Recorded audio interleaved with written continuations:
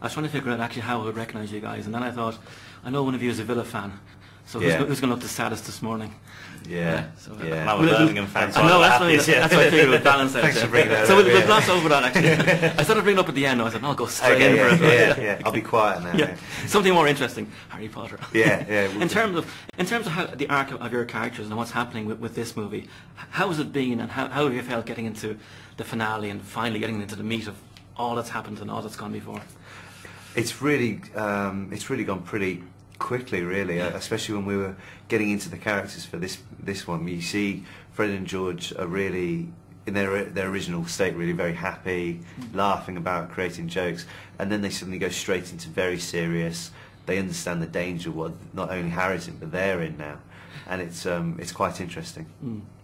And from your point of view, there's a, a lot happens which we can't even we can't say in case there are two people on the planet who haven't been read the books. Yeah. But uh, is that interesting, really, knowing that that certain elements are, are dramatic elements are about to happen? Is that is that good from an actor's point of view that this is coming up? I think so. Yeah, definitely. If if and from a fan's point of view, Yeah. because it's it's not like everything's just thrown on them and they don't know what's, what to expect. For I say, apart from probably two people in the world who haven't Yeah. read the book or anything, but the it's from an actor's point of view, it's great having the you have the script to go from and the book as well, which Mm. is in finer detail of the, the specific scene you're doing. So that was pretty cool to, to do. Yeah. How's it been like over ten years, eight movies, and the camaraderie you've built up with the with your fellow cast? And is it a wrench to leave that? And, and do you still have the friendships? And is there a sort of a, a sadness as well in, in leaving Hogwarts behind, so to speak? I think there will be. It still hasn't, for me, it hasn't sunk in yet Mm. because we've still got, obviously, when it comes out, uh, when HP 7 Part 2 comes out, it'll be, then then we'll notice it. But I mean, we still keep in contact with a lot of the guys. Um, I mean, we play golf with uh, with Rupert and Tom quite often. We see Matt quite a lot. So it's um, we'll still. It's not going to be hard to keep in contact and in touch with everybody. Who's the best golfer actually? Uh, I am actually. All right, yeah. enough. You, you have the build for it. You have that. yeah. I'll get that in for you. you have that certainly. Dustin Johnson look about you. Okay. No, no comment. no, no, okay, fair enough. Right. But will it be will it be arranged like when you're finally going and leaving leaving Hogwarts, or have you already were you planning for for quite a while? Life after the next stage in your career? Yeah, I, I guess so. I mean, we always knew that this would be the last Mm. one, so it wasn't as if when it finished that was kind of Mm. it. So uh, yeah, we kind of had a we had a good, kind of a good just get away, do something completely different. I mean, three days after we wrapped Potter, I ended up doing a small little independent movie, which was completely different. Yeah. And then Oliver, Rupert, and myself, we did a little road trip down to Barcelona, uh, Cool. just in a is in a called the Wacky Rally. So you, Yeah. you can only spend 250 quid in a car. You got to drive it down there. It was pretty random. Um, yeah, and then we just got all the publicity s- stuff to do until the end of the year, pretty much. And then there's a few things in the pipeline for the new year, which is quite exciting. Yeah, because last time I was speaking to you, actually, I think you were heading off to Norway.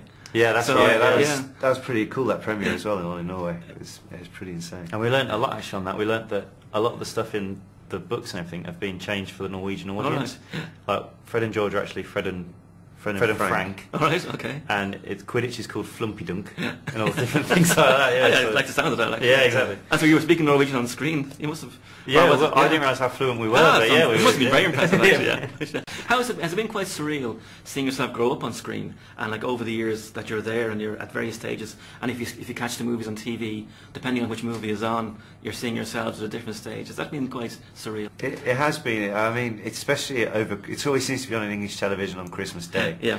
And we normally get a, a phone call, a text from our friend going, ah. and you say, what? Ah, and then you put the television on and you're there, like Yeah. 14 year old. Hello. Like, yeah. Quite wide eyed and high voiced. Yeah. How has the, the, the fame thing been over the years? Has, has it been good? Have people been come up to you and has it been it's all been, good? It's been quite, yeah, it's been really good. We've we've been fortunate enough to to get into it gradually. Yeah. I don't know how Rupert, Dan, and uh, and Emma do such a good job handling it because they were just thrusted into it. But it's uh, yeah, I mean we've we've been all right, haven't we? And just as, as a final question, I've been speaking to the rest of the guys, and nobody has managed to sort of secure a souvenir of their their many years in Hogwarts. So have you have you guys got anything, or if you could get something, is there anything in particular you'd like to actually have as a souvenir? Was that their official answer? That's the was that- official answer, Okay, and yeah, when the cameras stopped, we Yeah. can talk about it differently. Uh, well, yeah, the official answer, no, we haven't Yeah, got anything. But uh, if I were to, Yeah, if you were to, were yeah. to, Should we were to, yeah. Yeah. I'd love to get um, one thing they were very tight about not giving away was the wand. Yeah. But I'd love to have had a wand. But should hypothetically we were to take something, Uh, I think a bag from uh, like a prop from our joke shop in the Oh, sixth right, yeah, would yeah. be good, like a bag or some sweets from the puking pasties. What's good, the um, the currency, like in the Gringotts Mm. Bank, literally, although on screen it'll just probably be like a flash of silver and that's it, but they're actually all detailed with Gringotts Bank and like the, the pictures of wizards on and everything. So all, all that is really, like the detail goes into the props really was fantastic. Okay. Well, I suspect they'll be searching your pockets on the way out.